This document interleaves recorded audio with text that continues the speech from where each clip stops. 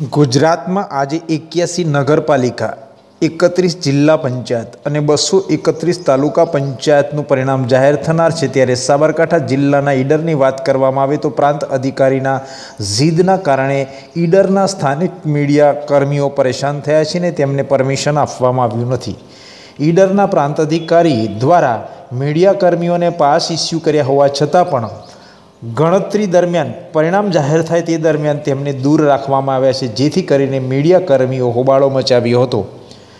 પ્રાંત અધિકારીની જીદના કારણે ઈડરના સ્થાનિક કર્મીઓ પરેશાન થયા છે. સ્થાનિક મીડિયાઓને કવરેજ કરવા માટે પરમિશન ન આપવામાં આવતા મીડિયા કર્મીઓમાં આક્રોશ જોવા મળ્યો હતો. હાલમાં સમગ્ર ગુજરાતમાં નગરપાલિકા, જિલ્લા પંચાયત અને તાલુકા પંચાયતના પરિણામો જાહેર થઈ રહ્યા છે. ત્યારે સાબરકાંઠાના ઈડરના પ્રાંત અધિકારીની દખલગીરીના કારણે ઈડરના સ્થાનિક મીડિયાને પ્રવેશ આપવામાં આવ્યો ન હતો, જેને લઈને મીડિયા કર્મીઓમાં આક્રોશ જોવા મળી રહ્યો છે.